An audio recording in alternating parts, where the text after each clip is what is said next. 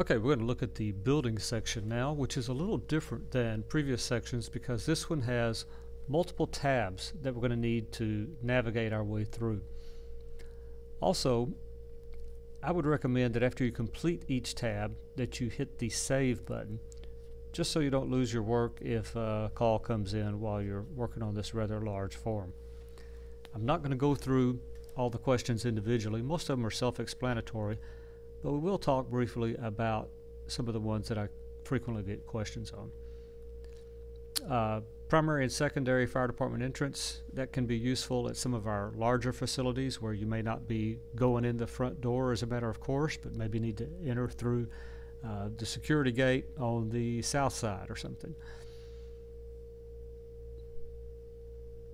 On occupancy type, if you've got, for instance, a apartment complex over commercial, like we're seeing a lot of now, you can choose multi-occupancy. These evacuation areas uh, sound a little confusing, but all that means a lot of your larger facilities may have emergency plans, and those emergency plans may call for them to shelter in place in a certain room in the building or if they dump the building, it may call for them to meet in a particular location, like the parking lot on the northeast corner of the building. If they have such things in their emergency plan, you can document that right here. Over on the Control Center tab, you know, a lot of our larger buildings have fire control centers. We would document the location of that and any emergency control features in the FCC. That might, for instance, be elevator controls, HVAC controls, including pressurization of the stairwells, an intercom system. There's a question here about if the building has an enhanced radio system.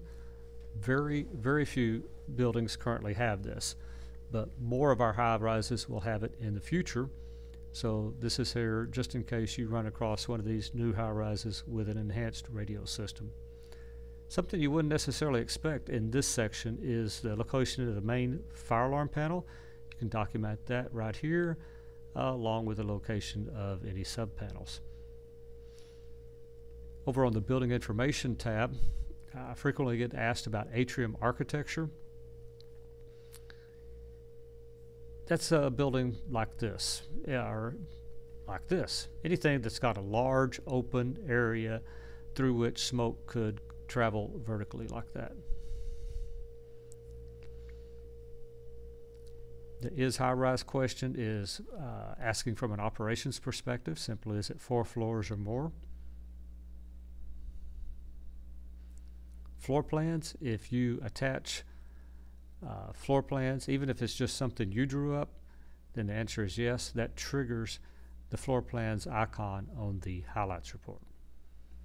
On the structural tab, you've got several choices for truss construction of roofing structural members, likewise on flooring structural members.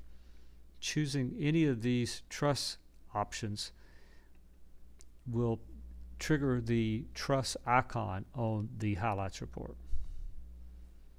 So when you've put in as much as you know about the building section, Again, we mark the section complete, move on to the next section.